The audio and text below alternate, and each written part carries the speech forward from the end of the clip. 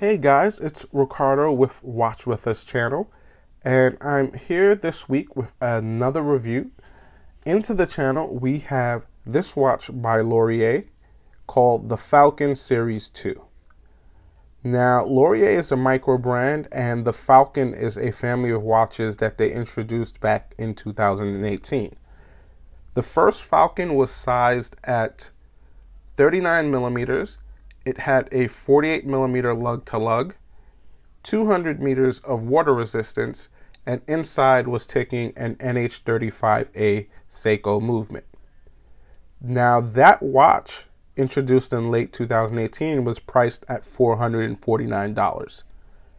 This year, what Lorier decided to do was to add another member to the family, and that's what we have here the Falcon Series 2. On this version, there are some immediate differences from the first version. The case is now sized at 36 millimeters versus the 39 millimeters of the previous version. Water resistance has come down to 100 meters instead of 200 meters. Our lug to lug here is 44 millimeters. And inside, we actually have taking a Miyota 90S5 movement. That movement is a time only movement. Benefit of that is when you pull out the crown, you'll notice that there are no ghost positions. Pull out the crown all the way and bang, you're already setting the time. Now, we've had this watch for about, I'd say, two weeks. And I have to say, this has been a great experience. Um, right off the bat, Lorier, everyone knows Lorier for their amazing bracelets. Um, the bracelet on this is just, it's, it's perfect. The facets are great. The way they catch the light, um, that brushing. It's, it's, it's a great bracelet. Um, you have your screwed down links. Give you a little side view of the signed crown. Here's the case back, which they left empty intentionally um, for anyone who wanted to get it engraved.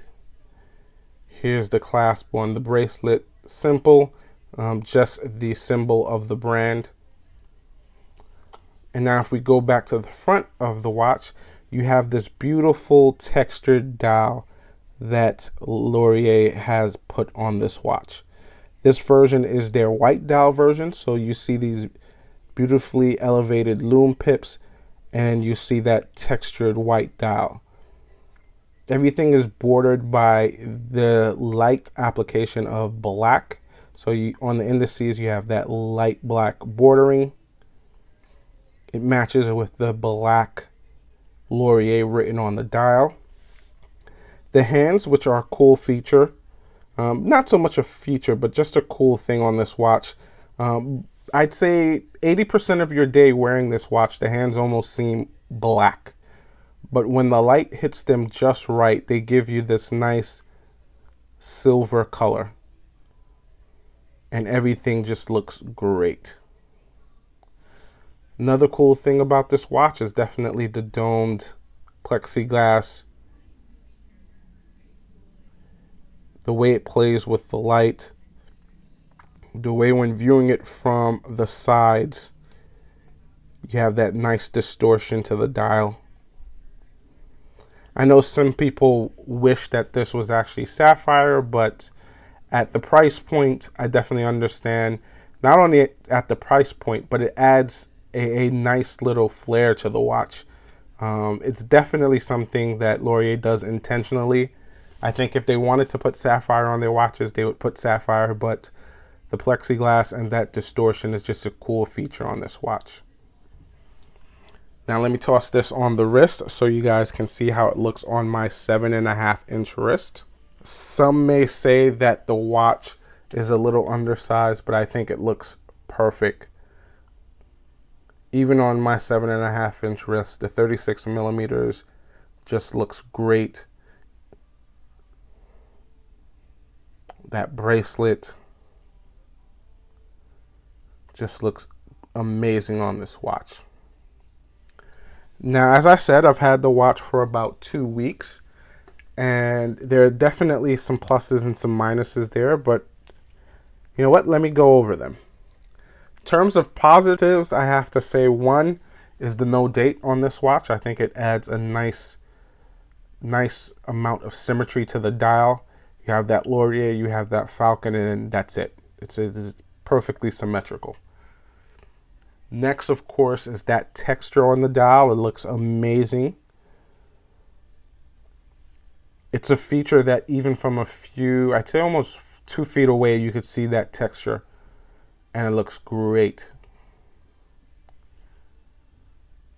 Lume on this is nice and strong, as you can see. One thing I have to say though is I had asked Lorier to send me in the white version. Um, I thought that would be the version that I would actually really love. But after examining some of the other versions that this watch comes in, I have to say the blue might be the watch for me. Um, the, what I've noticed with the white version is I'm not a big fan of the black outline. I, I feel like it it not so much it clutters the dial. I feel like it just doesn't it doesn't work for me. Um, that's just a personal opinion. It could work for others, but I I went back to Lorier's website and I have to say that blue dial with the silver outline and and, and just the use of silver, I think that's that's kind of if I'm gonna get this watch, that's the watch I'm gonna get. Now, in terms of negatives, there aren't that many.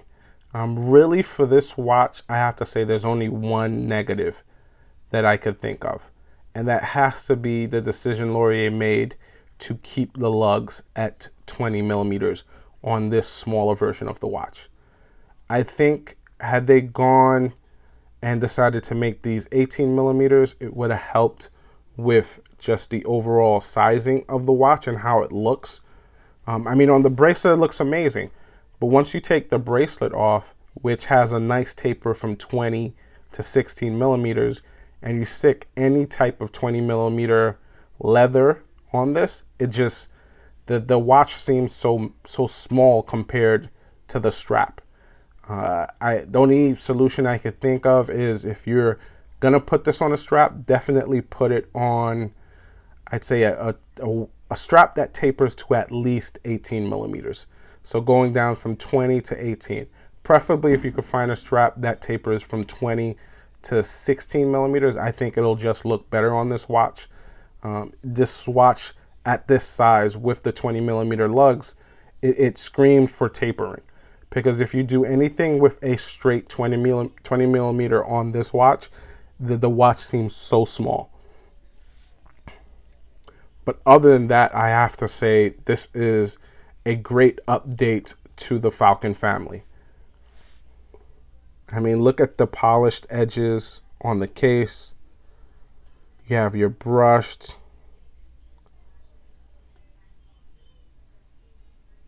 I mean, this isn't, this isn't, def, they definitely didn't slouch on this. This is drilled lug holes. I mean, this is a great update. This is a great second generation to that family of watches. And I mean, if this is what the second generation holds, I'd love to see what, what their plans are for this this family of watches later on. I imagine what the third generation for this will be. But once again, overall, I think the watch is a really good watch. I think as an everyday time only watch, it's perfect. That 100 millimeter millimeters, that 100 meters of water resistance is a nice feature to have on this. Of course, you get that screwed down crown. And I just think like this watch is a great everyday watch. You won't be disappointed with this watch. Now that's it for my review. Guys, if you have any questions or if there's anything I didn't cover in this review, definitely drop them in the comment section.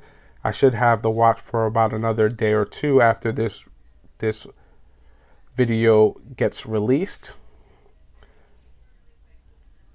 But just one more review of this beautiful watch. Thank you guys for watching, and that is a review of the Lorier Falcon Series 2.